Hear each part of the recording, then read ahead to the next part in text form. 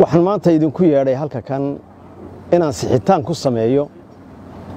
Hadal aan hore uga idhi qadabeeleed runtii waxaan ka xumahay in loo jeediyey hadalkaygii.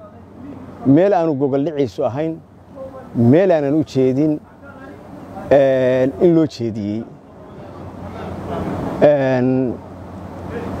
ama la siyaasadeeyey hadalkaygii haddaan intaa ka gudbo anugu halkan waxaan u imi nabad iyo inaan cid nabadeeyo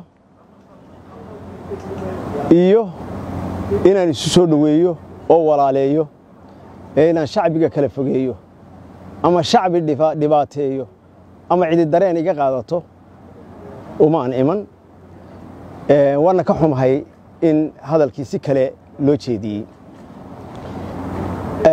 Dhaqankayga aniga waa la yaqaanaa waa nabad waa nabad iyo isu soo dhoweyn weeye. Waana wixii aan dhaqanka uu nafarayey iyo islaamnimaduba ay nafaraysay.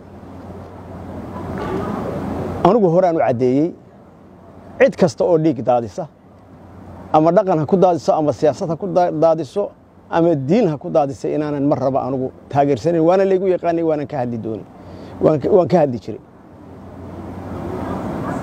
Shabaab wax naga dhexeeya iyo fikir naga dhexeeya iyo qaacido naga dhexaysa iyo xidhiidh naga dhexeeya taasna shacabka waana ogyahay waana laygu yaqaanaa mana jirto.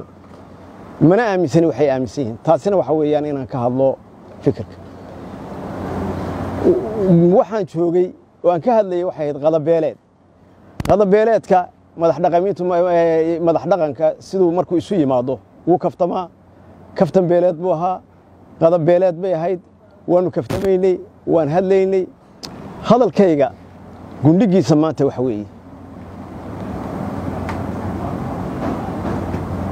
Wax alla wixii dad ehel ahaa ee dhibaato mabaadi' loogu geystay mid diineed loogu geystay fikir cidi aaminsan tahay oo aanan aaminsanayn loogu geystay qarax lagu sameeyey la dhibay aad iyo aad baan uga xumahay. Hadalkaygaasi muu ahayn dhiirigelin aan dhiiri gelinayo mabaadida aan u aqaanno inay mutadarifnimo tahay inaanay sax ahayn aan u aqaanno inaan dhiiri gelinayo maaha. Xaasha sidaa may ahayn waan ka xumahay rag siyaasiyiin oo aniga beeshayda ahaa oo wasiirra ahaa oo aniga iigu yimi inay iskay garab taagaan oo i soo dhoweeyaan in soo dhoweyntoodii lagu xagaagtay hadalka aan odhanayey miday ila lahaayeen ma ahayn wasiirrada iyo siyaasiyiinta meesha joogtay kaftan bay ahayd. Kaftan qadabeeleeda bay ahayd oo la yaqaano cid walba garan karto. Wixii iga keenayna waan sheegay. Waxaan kaloo aad uga xumahay.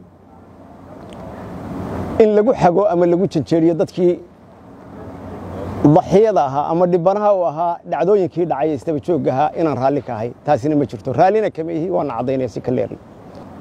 Haddii loo qaatay inaan anigu dawlad aaminsanahay shabaab anigu dawlad uma aqaano uma aaminsani waxaan jeclahay annagu oday dhaqameed baan nahay siyaasiyiintu wax badan ayay jeceshahay inay is-adadkayso shacbigii waxaan arkayay miidiya in la kiciyey in la leeyahay nin dhiiggii dadka ku raaxaysanaya magaalada yimi waxaan ka xumahay beelihii iyo dadkii soo dhoweeyey ee sida milgaha iyo maamuuska loo soo dhoweeyey ee aniga sharafta iyo milgaha ila dhinac taagnaa in la xumeeyo soo dhoweyntoodii iyo dareenkoodii aniga lay tuso inaan dadkoodii iyo dhibtoodii aan ku raaxaysanayo taasna waan ka xumahay waxaan kaloo jeclahay haddiiba cidi dhibsatay hadalkayga waan caddeeyey waan fikirkayga mabda'ayga caddeeyey. Waxaan jeclahay shacbigayga si aan u kasbado oo shacbiga aanay dana siyaasadeed noo dhex marin aan ka duulayo inaan raalligelin buuxda ka bixiyo. Arrinkaa haddiiba la dhibsaday ciddii dhibsatay ama dhibana ha ahaato ama ehel ha ahaato cid kastoo qaatay sidaa waxaan leeyahy umaan jeedin umana jeedi karo wax suuroobana maaha arrinkaa raalligelin baan ka bixinayaa. Aad iyo aad baa u mahadsantihin wasalaamu calaykum waraxmat ullahi wabarakaatu